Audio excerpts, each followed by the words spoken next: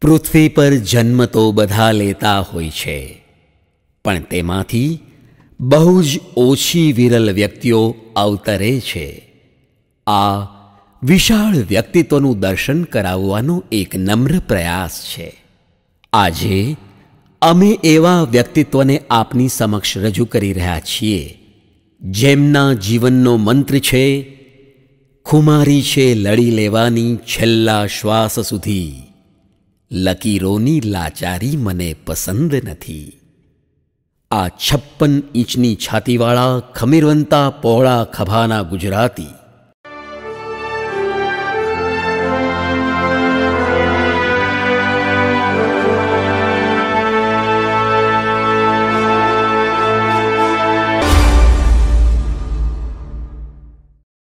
આવા અનેક ગુજરાતીઓ આ પાવન ધરતીમાં જન્મ્યા છે.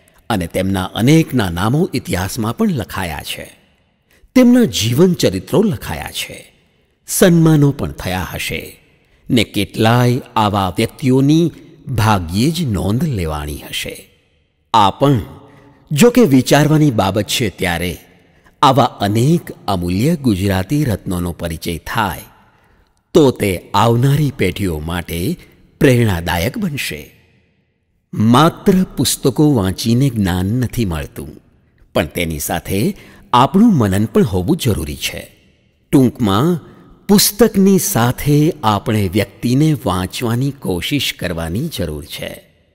આવો, આપણે મળીએ છીએ એક ગૌરવશાળી ખમીરવંતા ગુજરાતીને. શ્રી કાંતિલાલ લખમશી ગોવિંદજી કરિયા.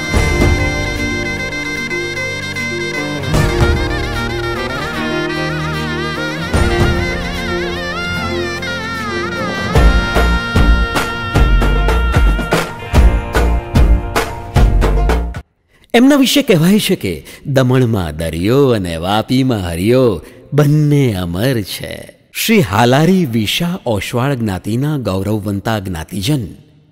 પ્રભાબેન લખમશી ગોવિંદજી હરિયાના પરિવારમાં પુત્ર રત્ન તરીકે શ્રી કાંતિલાલનો જન્મ થયો. આઠમી નવેમ્બર ઓગણીસો એકતાલીસના રોજ ગુજરાત રાજ્યના જામનગર જિલ્લાના કજુરડા ગામમાં શ્રી કાંતિલાલનો જન્મ થયો. પણ માતા પિતાને ક્યાં ખબર હતી કે આપણે ત્યાં પુત્ર નહીં, પણ અનમોલ રત્ન પ્રગટ્યું છે. પુત્ર રત્ન પ્રાપ્ત થતાં જ ભાગ્યનું ચક્ર પલટાયું અને લખમશી ભાઈએ કજુરડા ગામથી મુંબઈ સ્થિત ભાત બજાર મુકામે પદાર્પણ કર્યું. પછી સમયાંતરે જેકોબ સર્કલ સાત રસ્તા અને ત્યારબાદ વડાલા ખાતે સ્થળાંતર કર્યું. કહે છે કે શાળા એટલે જીવન ઘડતરનો પાયો. શ્રી આમુલખ આમીચંદ વિવિધલક્ષી વિદ્યાલયમાં ઘડાયો શ્રી કાંતિલાલના જીવન ઘડતરનો પાયો. એમના વ્યક્તિત્વનું એક જમા પાસું એટલે કે જે શાળામાં તેમણે અભ્યાસ પરિપૂર્ણ કર્યો, તે જ શાળામાં ઉપપ્રમુખ તરીકે પોતાની સેવાઓ આપી શાળાનું ઋણ ચૂકવી રહ્યા છે. સાહસિક વૃત્તિ અને મક્કમ મનોબળના ગુણો શાળાકીય જીવનમાં જ પ્રગટ્યા હતા. અર્થાત શાળામાં દાખલ થયા ત્યારથી જ અભ્યાસ પૂર્ણ થયા પર્યંત વર્ગના પ્રતિનિધિ તરીકેની ઉત્તમ કામગીરી તેમણે બજાવી હતી, જેનો આજે પણ ગૌરવપૂર્ણ ઉલ્લેખ થાય છે. ગણિત અને અંગ્રેજીમાં તેમનું પ્રભુત્વ અદ્ભુત હતું, જે તેમના સફળ વ્યવસાયનું પ્રતીક છે. શાળાકીય અભ્યાસ દરમિયાન તેઓ શાળા છૂટ્યા પછી પિતાશ્રીને ટિફિન પહોંચાડવા ઓફિસમાં જતા. જ્યાં પોતે વ્યવસાયની આંટી ઘૂંટીથી માહિતગાર થયા. કોઈ કવિએ કહ્યું છે કે, રસ્તામાં એટલી બધી ખાધી છે ઠોકરો. મંઝિલ સુધી પહોંચતા પગભર બની ગયો. હજી તો તેઓ વિદ્યાર્થી અવસ્થાને માણી રહ્યા હતા. ત્યાં જ તેમના પિતાશ્રીના ધંધામાં ખોટ આવવાથી તેમના કાકા અને પિતાશ્રીની ઈચ્છા અનુસાર કેન્યા દેશ જવાનું નક્કી કર્યું. પણ કેન્યા જવું એટલું સરળ ન હતું. કેન્યામાં સ્થાયી થવા માટે આકરી શરતો હતી કે ત્યાં સ્થાવર મિલકત લેવી પડે અથવા ત્યાંની કન્યા સાથે લગ્ન કરે તો જ કેન્યામાં વસવાની પરવાનગી મળી શકે. તે અનુસાર, દબાસંગ ગામના શ્રી મૂલચંદ ખીમજી સુમરિયાના દીકરી રમીલા સાથે લગ્ન કર્યા અને ત્યાંનું નાગરિકત્વ સ્વીકારી લીધું. રમીલાબેનના પગલે પગલે કાંતિભાઈના જીવનમાં પરિવર્તનનો પવન ફૂંકાયો અને કેન્યા ખાતે નવા વ્યવસાયના શ્રી ગણેશ કર્યા. પરંતુ બે વર્ષ બાદ માતૃભૂમિ પ્રત્યેનું ખેંચાણ એટલું પ્રબળ હતું કે ભાગ્ય પણ તેમને પાછા ભારત દેશ તરફ ખેંચી લાવ્યું. પાછા મુંબઈ આવ્યા બાદ એમણે ધંધાની શરૂઆત કરી અને સફળતાના પગરણ મંડાણા. વ્યવસાય કરવો પણ આસાન ન હતો. સરળ સ્વભાવના કાંતિભાઈ હરીફોની સતામણી સામે પણ અડગ રહ્યા. હરીફોએ બંધ કરી દીધેલા દરવાજાને કાંતિભાઈએ પોતાના પુરુષાર્થની ચાવી વડે ખોલ્યા. જોરથી ધક્કો માર્યો હરીફોએ ડૂબાડવા મને. ફાયદો એ થયો કે હું તરતા શીખી ગયો. કાંતિભાઈએ ભવ્ય પુરુષાર્થથી ભાગ્યના તાળાઓ ખોલ્યા અને નવી દિશામાં પગરણ માંડ્યા. ઓગણીસો અડસઠમાં બેડશીટ અને પીલો કવરની ફેક્ટરી મુંબઈ વડાલા ખાતે શરૂ કરી. અને જેઓ ટપાલની ચોરી કરી હરીફોને જાણ કરતા હતા, તેઓ બાધા ન નાખી શક્યા, કેમ કે આ પ્રોડક્ટમાં કાંતિભાઈને મોનોપોલી જેવું હતું અને કામકાજ પણ ખૂબ વધ્યું હતું. જેનાથી ફેક્ટરી વડાલાથી ખસેડીને ઓગણીસો એકોતેરમાં વાપી ખાતે મોટી જગ્યા લઈ ત્યાં કામકાજ શરૂ કર્યું. અને ગાર્મેન્ટના વ્યવસાયમાં મહાવીર ટેક્સટાઇલના નામથી આગળ વધતા ગયા. એક હજાર મશીન, એક હજાર છસો વર્કર્સ અને એકસો પચાસ ઓફિસ સ્ટાફનો પરિવાર હતો.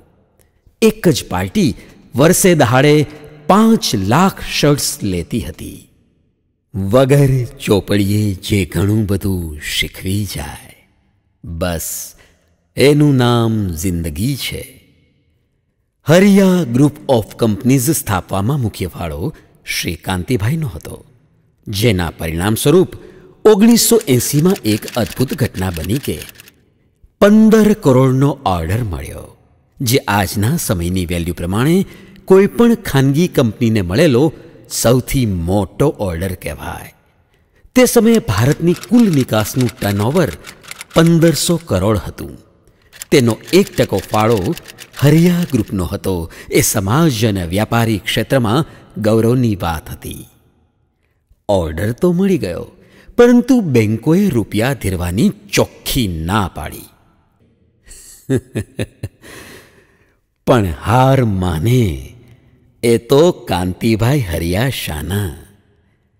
કાંતિભાઈ આ ઓર્ડર ફક્ત પોતાની શાખ બચાવવા માટે જ નહીં, પરંતુ એમની સાથે જોડાયેલા તમામ કર્મચારીઓના ભવિષ્યને બચાવવા માટે કટિબદ્ધ થયા. અને આફ્રિકાની બેંકમાં જાતે ડોક્યુમેન્ટ લઈને ગયા અને ત્યાંની બેંકના ડોક્યુમેન્ટ્સ લઈ અને મુંબઈની બેંકોમાં આપ્યા. પોતે જાતે ચાર્ટર્ડ પ્લેન બુક કરાવીને આ કાર્યને અંતિમ સ્વરૂપ આપ્યું. હાર શું છે? એ શબ્દ કાંતિભાઈ શીખ્યા જ નથી. વ્યાવસાયિક જીવનમાં કાંતિભાઈએ અસંખ્ય તકલીફોનો સામનો કર્યો છે. અને વ્યવહારિક જીવનમાં પણ કાંતિભાઈને વડીલોના આશીર્વાદનો શીતળ છાંયડો મળતો જ રહ્યો છે. કાકા તરફથી મળેલી નાણાકીય સહાયને કાંતિભાઈ પરત તો ન કરી શક્યા. પરંતુ કાંતિભાઈના વ્યવહારથી પરિચિત કાકાએ જરૂર પડતા ફરીથી એનાથી મોટી રકમની મદદ કરી. આ પ્રસંગ યાદ કરતા શ્રી કાંતિભાઈ આજે પણ આંખમાં અશ્રુ સાથે લાગણીશીલ બની જાય છે. વિઘ્ન તો જીવનમાં અનંત છે, પણ પ્રતિકારથી જ એનો અંત આવે છે. કુદરતનો પણ નિયમ છે કે જે પાનખર ઝીલે છે, તેને જ વસંત આવે છે. કાંતિભાઈનો વ્યાવહારિક દૃષ્ટિકોણ એટલો બધો સચોટ હતો કે એમના સંબંધોની સીમા ફક્ત ભારતમાં જ નહીં, પરંતુ આફ્રિકાના ઘણા દેશોના સત્તાધીશો સુધી પહોંચી હતી. સંબંધોની સુવાસ ઠેર ઠેર છે. સંબંધો તો ઈશ્વરની દેન છે.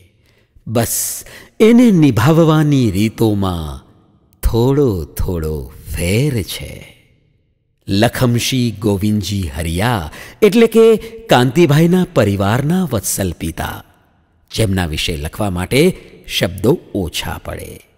સ્નેહ, સંસ્કાર અને વ્યવહાર કુશળતાના પ્રતીક શ્રી લખમશી ભાઈએ એમના સંતાનોમાં સંસ્કારરૂપી સ્નેહનું સિંચન કર્યું છે અને ચરિત્ર ઘડતરમાં મહત્વનો ભાગ ભજવ્યો છે, જેની સુવાસ સર્વત્ર પ્રસરી રહી છે.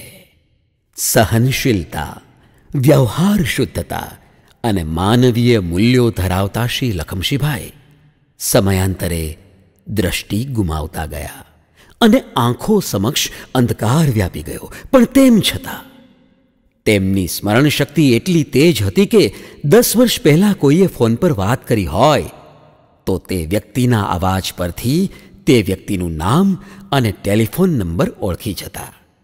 સમાજના લગભગ દરેક વ્યક્તિના સામાજિક સંબંધો અંગે તેઓ સંપૂર્ણ રીતે માહિતગાર હતા. એમ કહેવાય છે કે તેઓ સમાજની હરતી ફરતી ડિરેક્ટરી તરીકે પ્રખ્યાત હતા. પ્રભાબેન સૌમ્ય, સંસ્કારી અને ધાર્મિક વૃત્તિના હતા. જેમના બારણેથી કોઈ પણ વ્યક્તિ ક્યારેય ભૂખ્યો પાછો ન જતો.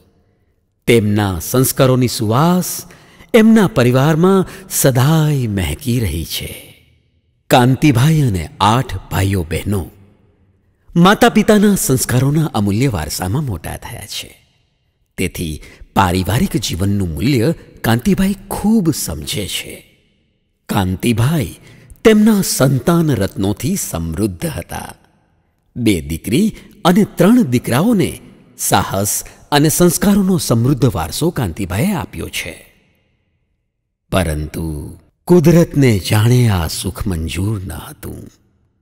અને એમના મોભી પુત્ર શ્રી કૌશિકભાઈનું પચીસ વર્ષની નાની ઉંમરે નિધન થયું.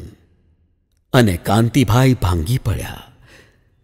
કૌશિકભાઈના નિધનથી કાંતિભાઈને પોતાનો જમણો હાથ ગુમાવ્યાની વેદના આજે પણ એમના હૃદયને કોરી ખાય છે. પરંતુ કૌશિકભાઈના પત્ની, અર્થાત કાંતિભાઈના પુત્રવધૂને દીકરી સ્થાને ગણી તેમના પુનર્વિવાહ કરાવી, કન્યાદાન આપી પિતા તરીકેની ફરજ બજાવી, જે એ યુગમાં ક્રાંતિકારી પગલું ગણી શકાય. કાંતિભાઈના બીજા પુત્ર મનીષભાઈએ વ્યવસાય અને પરિવાર બંનેને સંભાળી લીધા. કાંતિભાઈની બે પુત્રી, હર્ષિતાબેન અને અલકાબેન, પોતાના પરિવારને સ્નેહ અને સંસ્કારથી દીપાવી રહ્યા છે. સૌથી નાના પુત્ર બિમલભાઈએ અમેરિકામાં ફાઇનાન્શિયલ મેનેજમેન્ટ એમબીએ કરીને વ્યાપારમાં અનેક સિદ્ધિઓ પ્રાપ્ત કરી છે. સમયાંતરે રમીલાબેન અને કાંતિભાઈની જોડી તૂટી. રમીલાબેને પોતાના પરિવારની દરેક જવાબદારીઓ નિભાવી અને પરમાત્મા સાથે એકરૂપ થઈ ગયા. પણ ઈશ્વરે કાંતિભાઈને રમીલાબેનના સ્વરૂપમાં કમલાબેન આપ્યા. જેમની સંગે તેઓ જીવન સંધ્યાનો આનંદ માણી રહ્યા છે.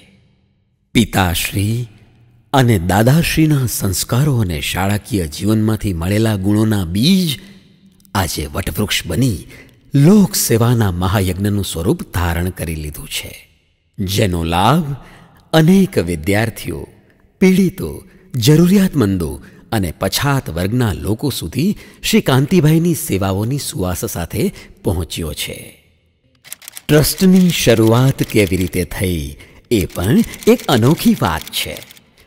ઓગણીસો ત્રેસઠમાં મોમ્બાસાથી મુંબઈ પાછા આવતા સ્ટીમરમાં બેઠા બેઠા વિચાર આવ્યો કે કરજો ચૂકવવા માટે બિઝનેસ તો શરૂ કર્યો અને હવે કરજ પણ ચૂકવાઈ જશે. પણ વધેલા રૂપિયાનું શું કરીશું? અને મનમાં એ વધેલા રૂપિયાથી એક ટ્રસ્ટ ઊભું કરવાનો વિચાર ઝબક્યો જેને અમલમાં મૂકવા કાંતિભાઈએ બાપુજીને વાત કરી. બાપુજીને વાત ગમી અને આ વિચાર પર કાંતિભાઈને સાથ આપવાનું નક્કી કર્યું. પણ બાએ કહ્યું કે, પ્રથમ આપણે ઘર લઈએ, ત્યારબાદ ટ્રસ્ટનો વિચાર કરીએ. કાંતિભાઈએ હસતા હસતા બાને સમજાવ્યા અને કહ્યું કે બા, પોતાનો વિચાર તો બધા જ કરે, પણ બીજાનો વિચાર કરે એ જ સાચો માણસ. ઘર તો આજે છે અને આવતીકાલે નહીં હોય, પણ ટ્રસ્ટ બનશે તો ઘણા લોકોના આશીર્વાદ મળશે. અને આખરે ઓગણીસો ચુમ્મોતેરમાં બધું જ કરજ ચૂકવી બાકી વધેલા એક લાખ રૂપિયામાંથી શ્રી કાંતિભાઈએ એલજી હરિયા ટ્રસ્ટની સ્થાપના કરી. આજે લગભગ ત્રીસથી વધારે સંસ્થાઓ શ્રી કાંતિભાઈ સાથે જોડાયેલી છે. જેમાં Shri Lakhamshi Govindji Hariya school Jamnagar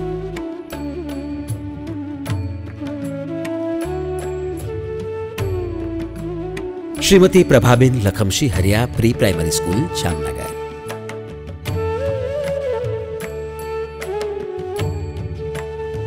Shri Lakhamsinh Govindji Hariya rotary hospital Vapi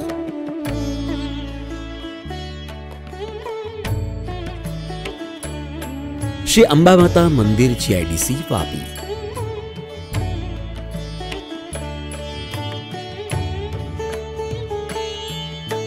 Shri Lakhamsinh Govindji Hariya multipurpose school Vapi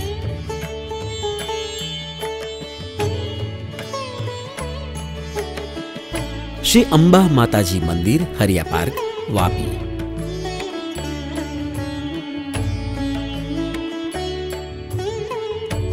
Shri Kaushik Hariya technical institute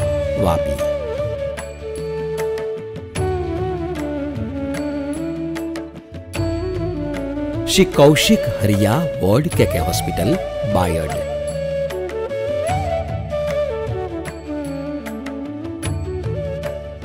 Shrimati Kasturben D Nagda BD college Jamnagar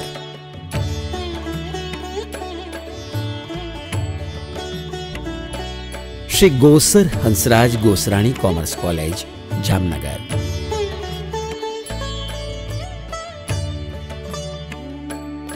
Shri Dharamsinh Devraj Nagda BBA college Jamnagar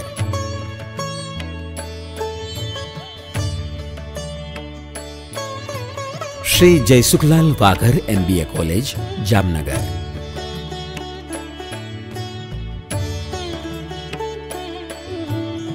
Shri Keshavji B Sumaria commerce college Vapi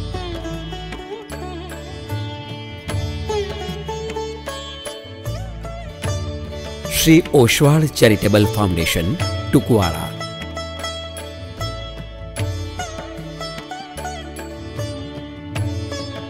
Lilavanti nature cure and yoga research centre, Jamnagar.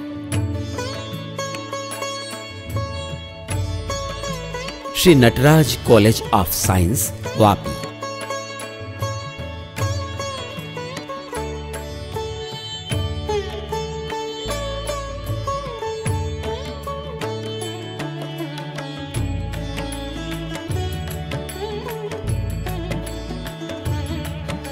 Shrimati Chandramani Zaverchand Gosrani BCA college, Jamnagar.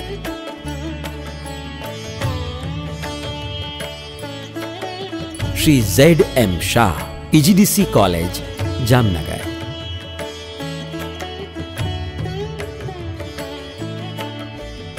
Shrimati Jashodaben Nathalal girls hostel, Jamnagar.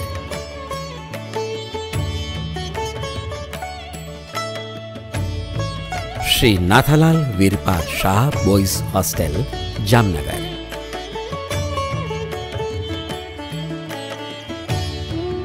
Shri Keshavji Bharmal Sumaria MCA college Jamnagar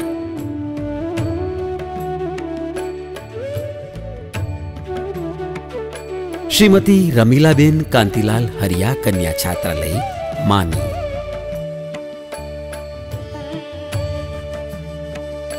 Shrimati Ramilaben Kantilal Hariya સાંસ્કૃતિક hall Karwad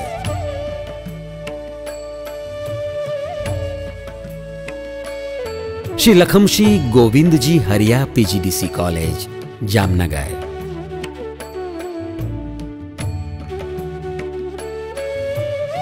Shri Halari Visa Oshwal Samaj Vapi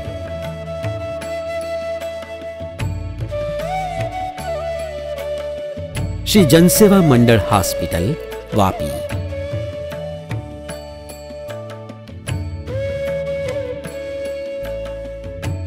Shri Gujarati Kelavani Mandal Matunga Mumbai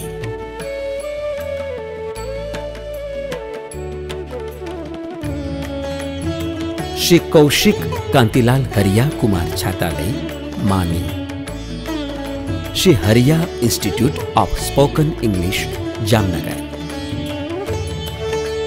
બીજી અનેક સંસ્થાઓ સાથે શ્રી કાંતિભાઈ પરોક્ષ રીતે સંકળાયેલા છે. શ્રી કાંતિભાઈ કહે છે, સમાજ સેવા નામનો શબ્દ મારી અંદર મારા લોહીમાં ભળી ગયો છે. જ્યાં જરૂર હોય ત્યાં ઉપયોગી થઈ અથવા તો આંગળી ચિંધ્યાનું પુણ્ય અનાયાસે મળી જ જાય છે. મળી જ જાય છે. મળી જ જાય છે.